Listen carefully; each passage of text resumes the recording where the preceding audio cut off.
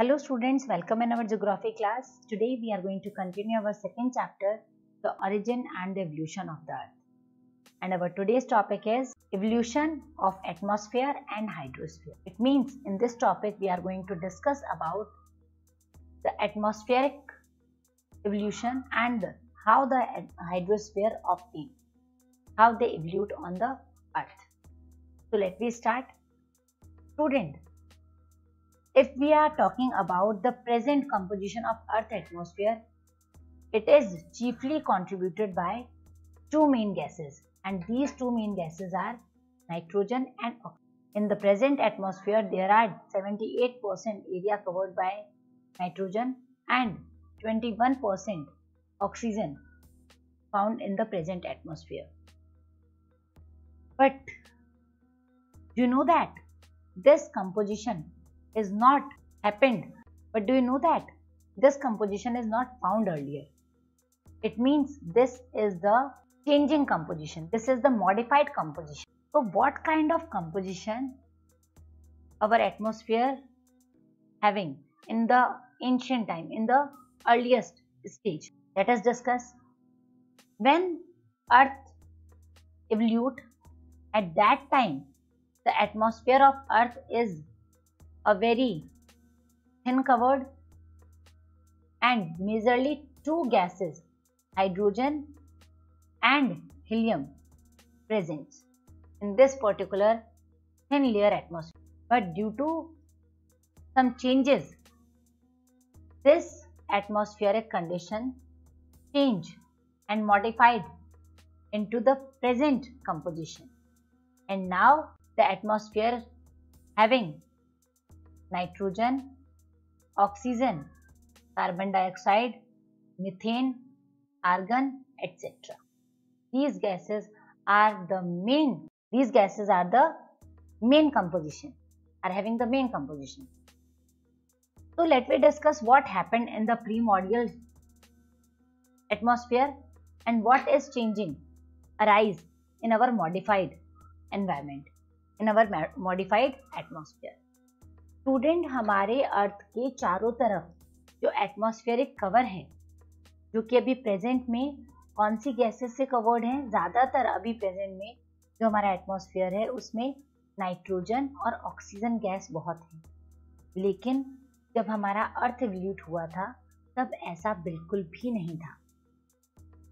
At the time of evolution our earth is having a thin layer of atmospheric cover और उस atmospheric cover में, उस पतली सी layer में जो सबसे मेन गैसेस थी, वो थी नाइट्रोजन जो सबसे मेन गैसेस थी, वो थी हाइड्रोजन एंड हीलियम बहुत ही ज़्यादा हॉट गैस तो let we discuss the stages of development related to the atmosphere.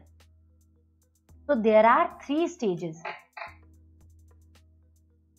in the evolution of the present atmosphere related हमारे प्रेजेंट एटमॉस्फेयर के बनने की तीन स्टेजेस डिस्क्राइब की गई हैं।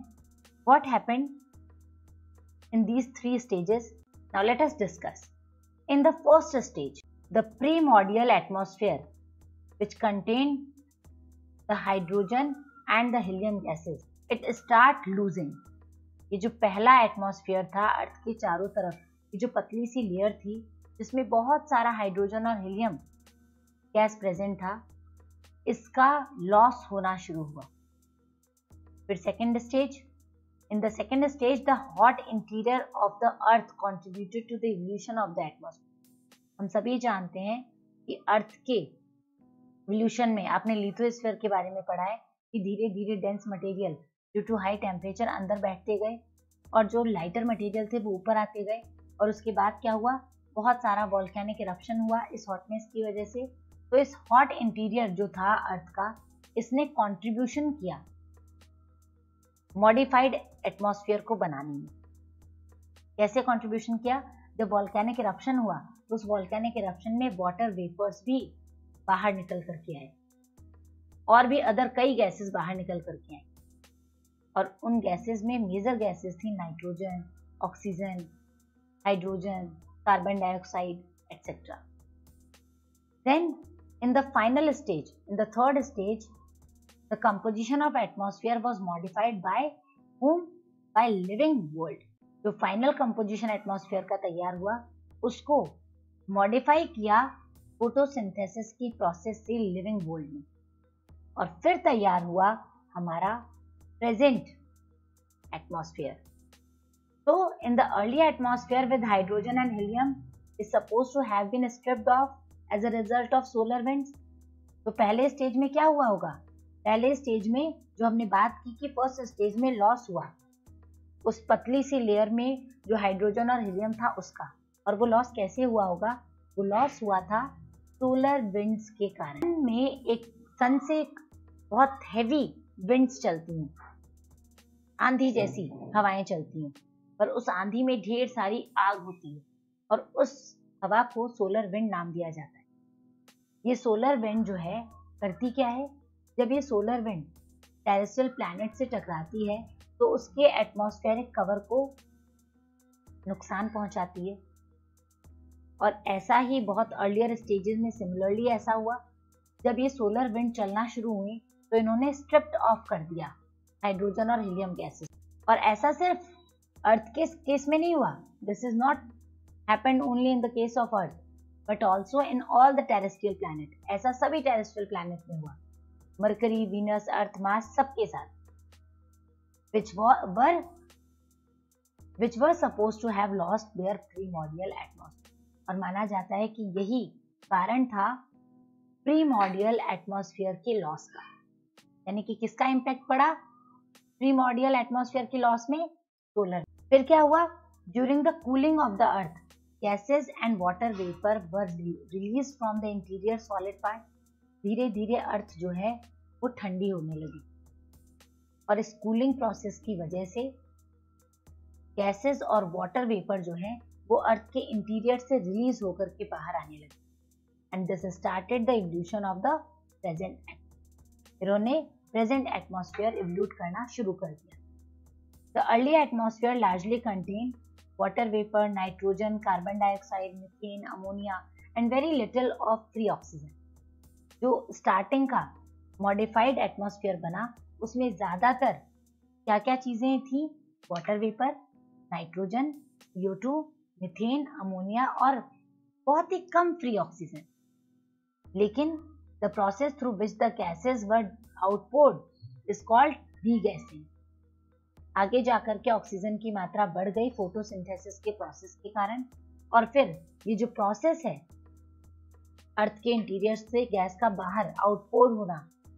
इस प्रोसेस को डी गैसिंग कहा जाता है। The process through which the gases were outpoured from the interior is called degassing earth के इंटीरियर से गैसेस के बाहर निकलने के प्रोसेस को डी गैसिंग इसे लर्न कर लीजिएगा। क्वेश्चन आता है, what do you understand by the process of degassing? Now for then then then what happened after degassing? Continuous volcanic eruption contributed water vapor and gases. Continuously जो volcanic eruption हो रहे थे, उन्होंने water vapour और gases की जो मात्रा थी, उसको इंक्रीज करनी शुरू कर दी। इसमें एटमॉस्फेयर में। And as the earth cooled the water vapour released started getting condense और जो रिलीज़ वाटर वेपर था, जब अर्थ ठंडा हुआ तो उसमें कंडेंसेशन का प्रोसेस शुरू हो गया। आपने वाटर साइकिल तो पढ़ा ही होगा। वाटर साइकिल में क्या होता है? वाटर साइकिल में सन जो है, इसकी गर्मी की वजह से जो लिक्विड है, वो वेपर में कन्वर्ट होता है। फिर ये वेपर क्या होते हैं? ये वेपर आगे चल करके क्लाउड्स बनाते हैं। क्लाउड जब हैवी हो जाते हैं सेचुरेट हो जाते हैं तो ये बारिश करते हैं। ठीक है? तो ऐसा सिस्टम पड़ा है ना? और यहाँ भी यही हो रहा था। जब वॉल्केनिक इरप्शन हो रहा था तो उसके अंदर से various amount of water vapour release हो रहा था। और ये वाटर वेपर जो है, जब बाहर आता था तो इसका टेम्परेचर डिक्रीज हो जाता था और ये डिक्रीज टेम्परेचर की वजह से क्लाउड में कन्वर्ट हो रहा था। और जब क्लाउड सेचुरेट हो रहे थे, उससे बहुत लंबे समय तक रेन वाटर अपीयर हुई। तो the carbon dioxide in the atmosphere got dissolve in which in rain water CO2 जो प्रेजेंट है एटमॉस्फेयर में, वो डिजोल्व होने लगा रेन वाटर के फॉर्म में and the temperature further decrease causing more condensation and more और जैसे जैसे टेम्परेचर डिक्रीज हो रहा था, उसकी वजह से ज़्यादा कंडेंसेशन और ज़्यादा बारिश हुई। अब जब इतनी सारी बारिश हुई तो वो पानी कहाँ गया? अभी आजकल तो क्या होता है? थोड़ी सी बारिश होती है, बाढ़ आ जाती है फ्लडेड हो जाता है जोन तो उस समय क्या हुआ? समय ह्यूमन था ही नहीं। तो चाहे कितना भी पानी कहीं भी भरे, ज़्यादा लिविंग सिस्टम था ही नहीं अभी। लाइफ जो है, वो शुरू हुई ही नहीं थी। हम उससे पहले की बात कर रहे हैं। तो वो रेन वाटर जो थे ऐसे सरफेस पर इकट्ठे होने लगे जो डिप्रेस थे, जो दबे हुए थे, जिनमें स्पेस था, गहरे जो थे। उन गहरे स्पेसेस में ये वाटर स्टोर होने लगा और आगे चल कर के यही स्टोर्ड वाटर ओशियन में कन्वर्ट हुआ ओशियन कहलाया। And the earth ocean were form within 500 million after the formation of earth हमारा फॉर्मेशन अर्थ का कब हुआ था? 4.6 मिलियन पहले? और उसके 500 मिलियन के बाद में ही माना जाता है कि हमारा जो ओशियन है, वो फॉर्म्ड हो गए। तो this tell us that the ocean are old as 4000 million years ocean कितने पुराने हैं। आज से 4000 मिलियन साल पुराने। And then around 3800 million years ago, life began to evolve. And however, around, and however, around 2500 to 3000 million years before the present, the process of photosynthesis got evolved. माना जाता है कि ओशियन इवल्यूट हुए थे 4000 मिलियन साल पहले। लाइफ की शुरुआत जो है, इन ओशियंस में लगभग 3800 साल पहले हो गई थी और फोटोसिंथेसिस जो है, वो अपने एडवांस रूप में, अपने डेवलप फॉर्म में 2500 से 3000 मिलियन ईयर्स पहले ये प्रोसेस जो था फोटोसिंथेसिस का, वो इवॉल्व हो गया। तो life was confined to the oceans for a long time इसका मतलब जो जीवन है, वो ओशियन में आज से नहीं, बल्कि बहुत साल पुराना है, बहुत सालों से है। It means ocean begin to have the contribution of oxygen through the process of photosynthesis. तो जो प्रोसेस हुआ था फोटोसिंथेसिस उसकी वजह से ओशियंस ने ऑक्सीजन रिलीज़ की, बहुत सारी।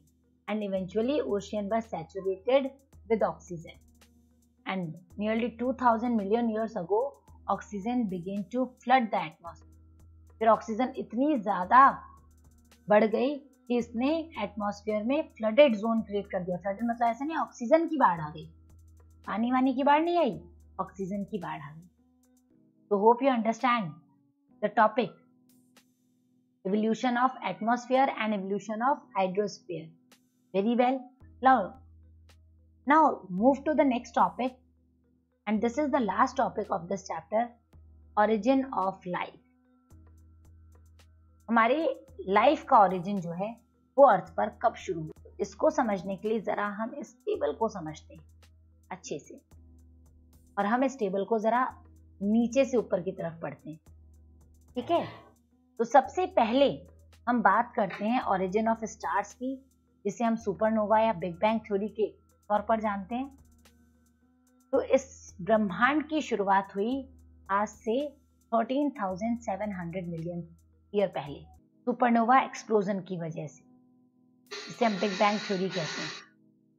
और ये हुआ 12,000 मिलियन ईयर्स और तब बन गया क्या? यूनिवर्स बना।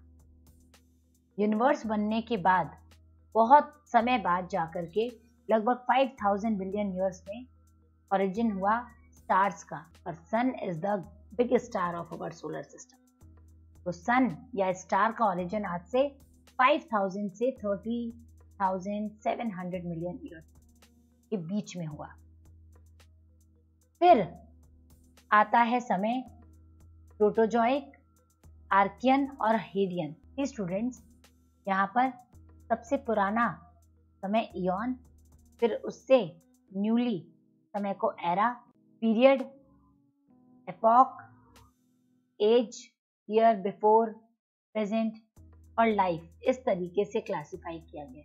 और ये हमारा जियोलॉजिकल टाइम स्केल है, जो हमें बताता है कि अर्थ पर या पूरे यूनिवर्स की बिगनिंग से लेकर के आज के मॉडर्न मैन तक का सफ़र अर्थ ने किस तरीके से पूरा किया है। ठीक है, हम इसकी बात कर रहे हैं। तो इन को हम तीन पार्ट में यहाँ डिवाइड कर सकते हैं after origin the star and these three part are Proterozoic Archean Hadean Hadean is the very earlier stage and this in is according to era considered as a Precambrian and we are talking about five seven we are talking about five seventy million to four thousand eight hundred million years तो सबसे पहले हमने अभी बात की थोड़ी देर पहले कि सबसे पहले अर्थ के फॉर्मेशन के बाद में जो अराइवल हुआ, वो किसका था? ओशियंस का और कॉन्टिनेंट्स का। And ocean and atmosphere are rich in to carbon dioxide atmosphere में इस समय तक सबसे ज़्यादा क्या था?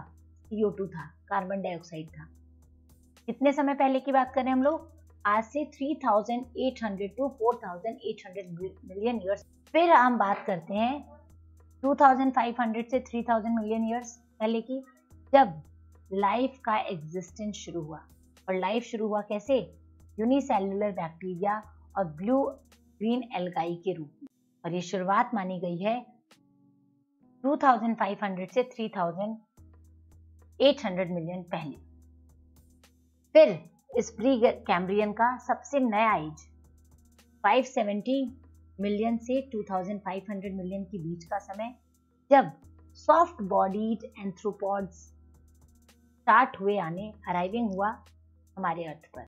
फिर आया समय पेलोजोइक एरा का। और ये पेलोजोइक एरा जो है, वो चार छ पीरियड में क्लासिफाइड है। Cambrian Ordovician Silurian Devonian Carboniferous और पर्मियन तो सबसे पुराना समय था कैम्ब्रियन कैम्ब्रियन आज से 505 से लेकर के 570 मिलियन साल पहले की बात है। जब कोई टेरेस्ट्रियल लाइफ नहीं थी, यानी कि लैंड एरिया पर कोई लाइफ नहीं थी, सिर्फ़ मनी मरीन सिर्फ़ मरीन इनवर्टिब्रेट जो लाइफ थी, वो नज़र आ रही थी। यानी कि समुद्र में जीवन था। अभी टेरेस्ट्रियल लाइफ स्टार्ट नहीं हुई थी। कैम्ब्रियन एज की बात कर रहे हैं हम लोग। फिर समय आता है ओडिविशियन का, यानी कि 438 से 505 मिलियन ईयर्स तक। पहला फ़िश अराइज हुआ वाटर में। फिर सिलिसूरियन एज में, यानी कि आज से 408 से 438 मिलियन ईयर्स पहले, पहली लाइफ स्टार्ट हुई लैंड पर in the form of plant plant के रूप में पहली लाइफ बिगिन हुई। कौन से समय में? सिलिसूरियन एज में। ठीक है? आज से 408 से 438 मिलियन ईयर्स फिर डिवोनियन एज में, यानी कि 360 से 408 मिलियन ईयर्स पहले एम्फीबियंस डेवलप होने लगे। और कार्बोनिफेरस एज आया जब कोल बेड्स का एवोल्यूशन हुआ। अगर हम यहाँ कोल बेड्स की बात करें तो यहाँ तक में समय बदल चुका था और अब कोल बेड्स कोल किससे तैयार होता है? फॉसिल से।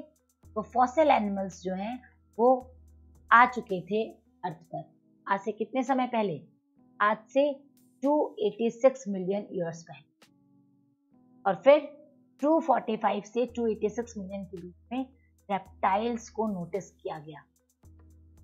इन्होंने एम्पीवियंस को रिप्लेस कर दिया और बड़े बड़े रेप्टाइल्स नज़र आने लगे। ये वही समय था जब आगे चल करके डायनासोर्स नज़र आने वाले थे। So now the next era is Mesozoic and this era between 65 to 245 million years and this era is also known as mammals era and this era classified into three epochs Triassic Jurassic Cretaceous the Triassic is a 208 to 245 million years age and the frogs and the turtles start evoluting on the earth. Then in Jurassic era, which is related to 144 to 208 million years ago, the age of dinosaur are considered. ये जो Jurassic era है आज से 144 साल पहले आज से 144 million साल पहले ये एरा डिनोट होता है डायनासोर की एज को और फिर ये डायनासोर ज़्यादा लंबे समय तक नहीं रहे। 65 मिलियन ईयर्स पहले 65 से 144 मिलियन ईयर्स पहले तक ये धीरे धीरे एक्सटेंक्ट होने लगे। और इस एज को कहा जाता है Cretaceous this era known as Cretaceous then Cenozoic era start emerging एक सबसे नया एरा इमर्ज हुआ और वो एरा था आज से 65 मिलियन ईयर्स पहले से लेकर के अब तक का। और इस एरा को दो पीरियड में क्लासिफाई पहला पुराना पीरियड टर्शरी और नया पीरियड क्वाटिनरी पुराने पीरियड को फोर एपॉक्स में फाइव एपॉक्स में, पुराने पीरियड को फाइव एपॉक्स में कंसिडर किया गया। Paleocene Eocene Paleocene Eocene Oligocene Miocene Pliocene हम बात कर रहे हैं 57 से 65 मिलियन ईयर्स पहले की और पहला small mammal in the form of rats and mice start emerging on earth surface then in Eocene epoch the period between 37 to 58 million rabbits and hares start emerging खरगोश की शुरुआत अर्थ पर हुई 37 से 58 मिलियन ईयर्स में फिर 24 से 37 मिलियन ईयर्स पहले एंथ्रोपॉइड एप आदि मानव दिखाई देना शुरू हुआ। ऐसा माना जाता है। मायोसिन एज जो कि 5 से 24 मिलियन ईयर्स पहले की बात हम कर रहे हैं इसमें एप और फ्लावरिंग प्लांट्स और ट्रीज नज़र आने शुरू हुए और 2 से 5 मिलियन ईयर्स पहले हमारा ह्यूमन एंसेस्टर पहला ह्यूमन एंसेस्टर फिर आता है new the modern period the quaternary period. This quaternary period is also classified under two categories, two epochs, and these epochs are Pleistocene, Holocene. The Pleistocene is the age of 10,000 millions to 2 million. Sorry. The Pliocene is the age of 10,000 years to 2 million. And this age considered the arrival of Homo sapiens and then the new age that is from present to 10000 years ago, the modern man executed over the surface of the हमारे earth surface पर modern man की शुरुआत हुई। आज से दस हज़ार साल पहले। और तब से अब तक, अब इसके बाद में कोई भी नया इवोल्यूशन जियोलॉजिकल टाइम स्केल के अकॉर्डिंग नहीं नोटिस किया गया it means we human are the last arrival last living creature arrived on the earth's surface. Hope you understand this geological time scale well. This is the end of our this chapter, Evolution of Earth. Now thank you and have a nice